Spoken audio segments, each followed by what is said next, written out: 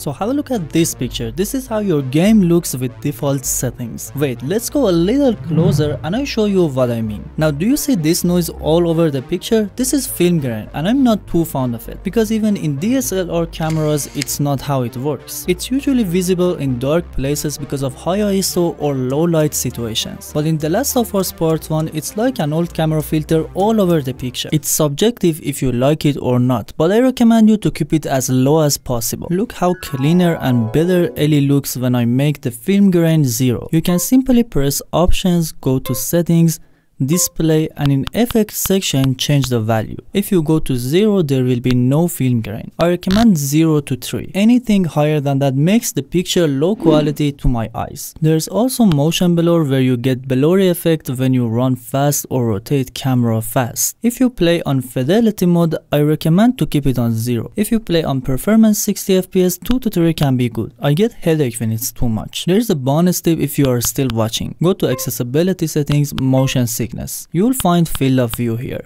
What this option does is showing wider area in the game. So this is how it looks on minus 5 and when you go to 5 you can see more area in the game. I like that. To sum up field of view on 5, motion blur and film grain on 0 to 3. But if you want the best PS5 settings for The Last of Us Part 1, Watch this video next where I showed the best settings like audio, video, controls to give you much better experience while playing.